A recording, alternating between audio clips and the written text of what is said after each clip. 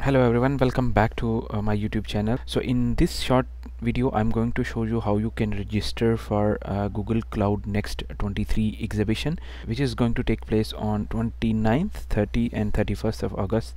And its venue is uh, san francisco. So to register for this event just open your browser and type cloud dot with google.com the first tab on the left hand side is next 23 just click on it and if you go down here you will see the ticket options. There are mainly three ticket options. Uh, the first is early bird full price and the third one is complimentary access. Uh, so these passes are for those people who are going to attend this event physically. So we can attend this event from any part of world. So uh, we will use the complimentary access it's a digital pass. The, these are the key features uh, for this pass. So to register for this digital pass all you have to do is just click uh, register now here or on the right top corner. Just click register. The, it will give you two options either register with your gmail account or register with email. So i will register with email.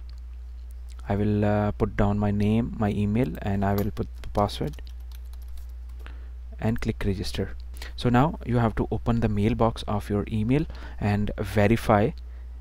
So once you verify your email there are uh, seven steps which you have to complete. In the first step you have to uh, fill your basic information like your name. So here you have to type your uh, business email as well. So here you can type any email.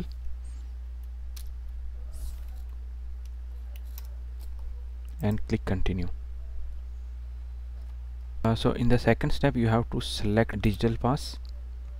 So if you have any discount code for 499 uh, pass so you can enter the and apply. But we are going for digital pass and click continue.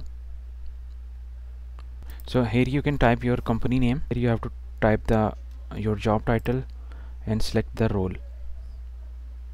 So I will select system admins and operations. Continue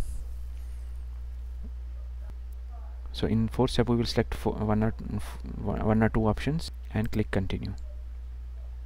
So here it's up to you. If you want to receive the uh, news and product updates uh, you can click yes. And at the last you have to accept the terms and condition.